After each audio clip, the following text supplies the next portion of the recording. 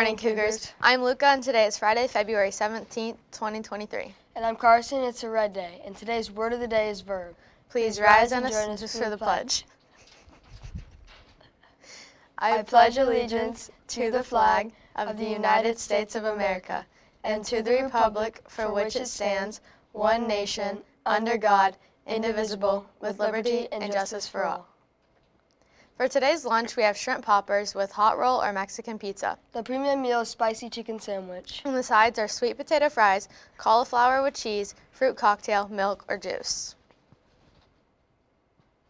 For today's lunch, we have beef taco salad, cheese quesadilla, or chicken tinga quesadilla. The premium meal is spicy is spicy tenders and waffle. For the sides are fiesta black beans, shredded lettuce, diced tomato, pears, cinnamon apples, milk, or juice. Also, speaking of lunch, don't forget Please make sure you're wearing your ID when you go through the lunch line so it is quicker and easier for all of us. Plus, the quicker you get through, the more time you will have to catch up with your friends. It's everyone's favorite part of the show. It's joke time. And I have a great one. Why did the Scarecrow win an award? Why? Because he was outstanding in the field. Each month we focus on a character word that we all should try to practice, model, and hopefully make a habit in our daily lives. Yes, we do, and February's character word is honesty. And it means being truthful to yourself and others. We can show this by being truthful with our friends. Listen up, Cougars. Congress Middle School PTA is holding another fundraiser for all of your dinner needs. CMS PTA will receive 15% of fundraiser sales during the Freddy's fundraiser. Please plan to participate on Monday, February 27, 2023 from 4 p.m. to 8 p.m. You can participate by ordering digitally or at the physical Freddy's restaurant located at 8071 Northwest Roan Ridge Road. To participate digitally, order on the Freddy's mobile app or website using the code GIVEBACK. To participate at the restaurant, tell the cashier of your participation before paying your bill. Thank you again for all your support for our awesome PTA. Listen up, Cougars. Just a reminder that if you are participating in track, to sign up for impact testing ASAP. The last test will be offered next Wednesday, February 22nd. Sign up can be found on the webpage. Listen up, Cougars. Please make sure you are swinging by the Lost and Found to claim any items that may be yours.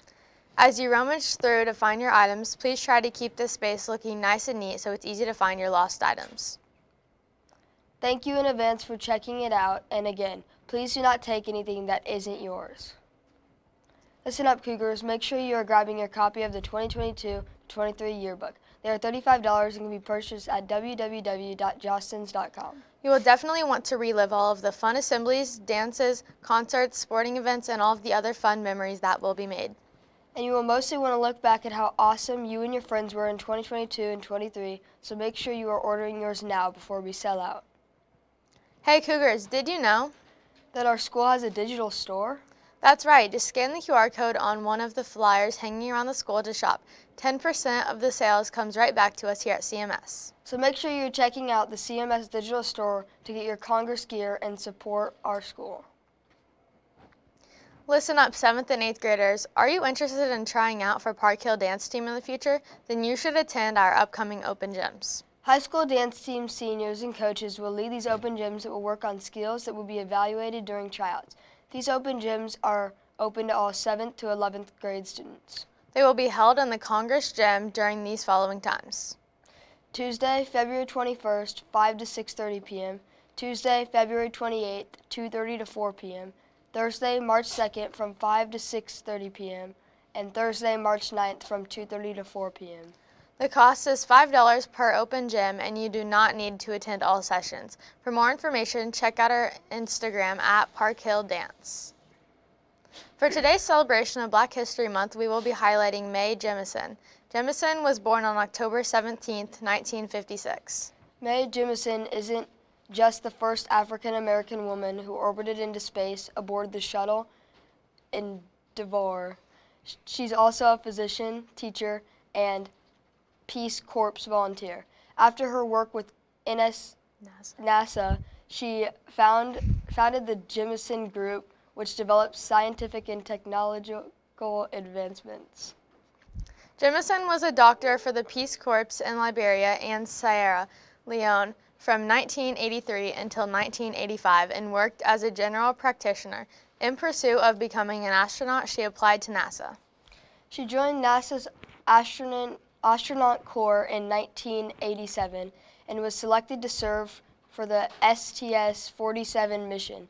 During when she orbited the Earth for nearly eight days on September 12th the 20th, 1992. Jemison left NASA in 1993 and founded a technology research company. She later formed a nonprofit educational foundation and through the foundation is the principal of the 100-year Starship project funded by DARPA.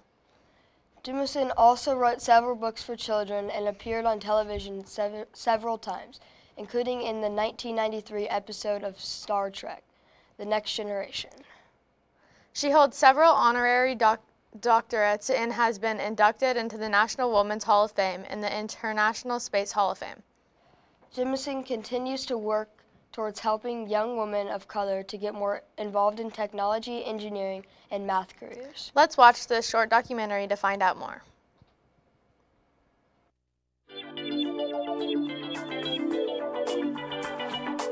Dr. Mae C. Jemison always believed in following her dreams. In fact, she followed her dreams right into space. Two, one, booster ignition and liftoff of the space shuttle. Born October 17, 1956 in Decatur, Alabama, but calling Chicago, Illinois her home, she always wanted to be a scientist. She believed it was her destiny to one day blast off into outer space. The young Mae also had a strong talent for dance, studying it from age 9. At age 16, she attended Stanford University on a scholarship studying chemical engineering and African and Afro-American studies. While in her senior year of college, she was deciding between two careers, either a doctor or a professional dancer. She decided to continue on in the medical field. She applied to and was accepted by Cornell University Medical School. Dr. Jemison worked as a general practitioner in Los Angeles, California, before joining the Peace Corps in West Africa. She has also practiced medicine in a Cambodian refugee camp. In June 1987, Dr. Jemison was selected for NASA's astronaut program. Her love of dance followed her into space. She took a poster of the Alvin Ailey American Dance Company along with her on the flight. With a successful launch of the Space Shuttle Endeavour on September 12, 1992, Dr. Mae C. Jemison became the first black female to travel into orbit. The first thing she saw from space was her hometown of Chicago. Her young dream had come true, and she even danced in space. In March 1993, Dr. Jemison left NASA. She then founded the Jemison Group, which focuses on improving healthcare in Africa. Dr. Jemison has also had a television career. She's the only real astronaut to ever appear on a Star Trek series. She was the host and technical consultant for the series Worlds of Wonder. Dr. Jemison didn't let a lack of role models discourage her. She had big dreams and made them happen. She has been a doctor, a dancer, an astronaut, and a chemical engineer. But most of all, she has been an inspiration.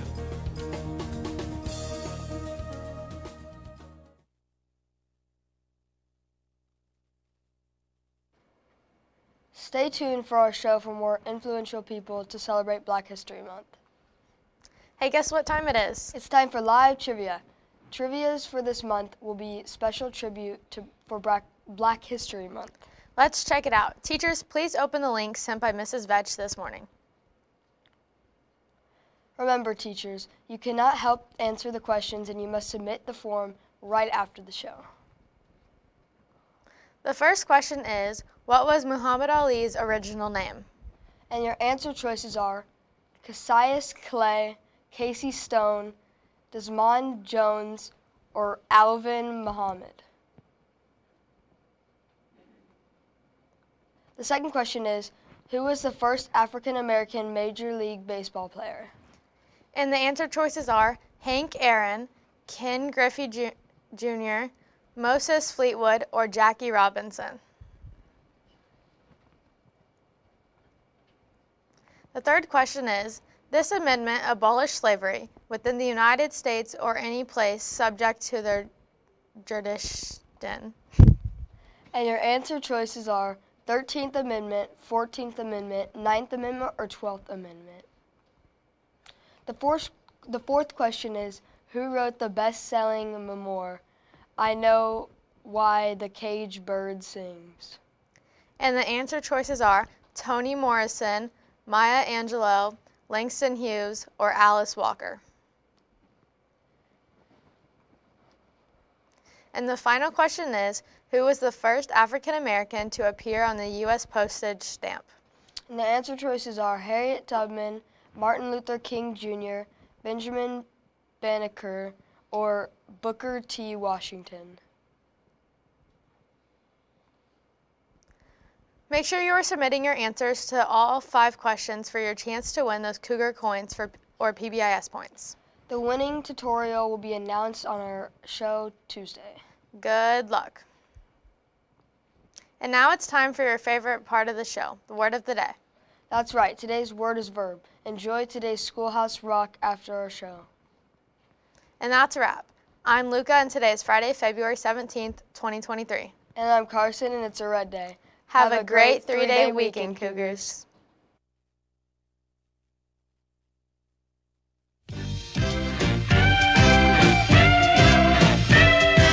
I get my thing in action. To be, to see, to feel, to live.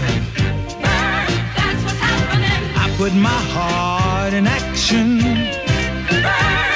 To run, to go, to get, to give. Where I find satisfaction, yeah. Yeah. To search, to find, to have, to hold. Burn, to be bold. When I use my imagination, Burn. I think I plot, I plan, I dream, turning in towards creation. Burn. I make, I write, I dance, I sing when I'm feeling really active. I run, I ride, I swim, I fly. Other times when life is easy, oh. I rest, I sleep, I sit, I lie. Verb, that's what's happening. I can take a noun and bend it, give me a noun. That's both break and plow. Make it a verb and really send it. Show me how. Oh, I don't know my own power. I get my thing in action, in being, and doing, and saying. A verb expresses action, being or a state of being. A verb makes a statement. Yeah, a verb tells it like it is. Verb, that's what's happening. I can tell you when it's happening. Past, present, future tense. Ooh, tell you more about what's happening. Say it so it makes some sense. Oh, I can tell you who is happening. Verb, sentence has a subject. Noun, person, place, or thing. Find that subject, where's the action? Verb can make a subject sing. Take a subject, what is it? What? What's done to it? What does it say? You're. I can question like, what is it?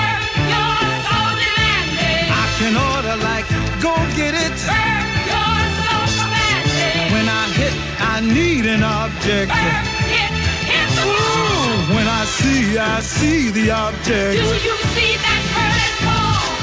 If you can see it, then put the ball on the fence, man. Go ahead on. Yeah, all right. What? He hit it. It's going. It's going. It's going. What? I get my thing in action. Verb, that's what's happening. Ha, to work, to play, to live.